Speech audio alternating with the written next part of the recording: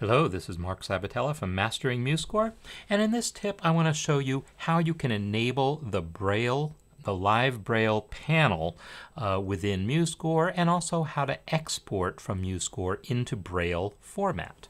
So first let's look at the live Braille panel. This is what's new with MuseScore 4.1.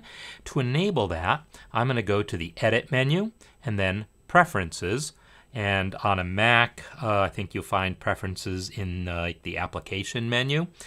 And then at the bottom of the list uh, in the uh, left hand panel of the resulting dialog, you'll see Braille. And then when you select that, in the right hand panel is a checkbox that says Show Braille Panel. And that's what we want. There's also some advanced options here to allow you to pick different uh, types of tables as far as how the lyrics are interpreted, what language setting is used. I'm just going to leave that at the default. So uh, I can now press OK, and when I do this, we will now see that on the bottom of the display, on the bottom of the main MuseScore window, is now a Braille display.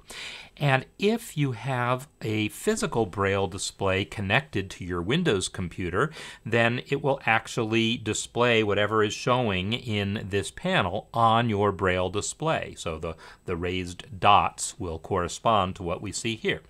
So uh, what's going to happen now is as we navigate our score, let's say I select the first measure of the score, then the display in the Braille panel will update to show that. I can also uh, uh, resize that panel to make sure that we're seeing everything in it.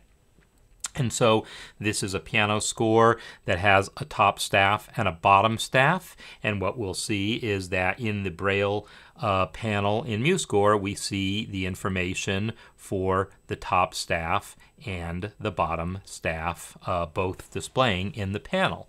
And the same should be true in a Braille display. You might have to scroll from one line to the next, but it should show lines for both of the two staves there.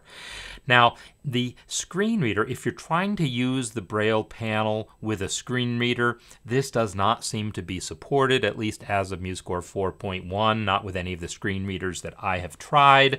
Um, but it should work again on Windows with Braille displays and uh, on uh, on any system. Also, if you click within that Braille uh, panel, you can then use the cursor keys to move around, and the uh, status line will show you what is actually there at the cursor position. So right now there's an actual clef there at the cursor position. MuseScore in Live Braille does display clefs even though those aren't always used in Braille.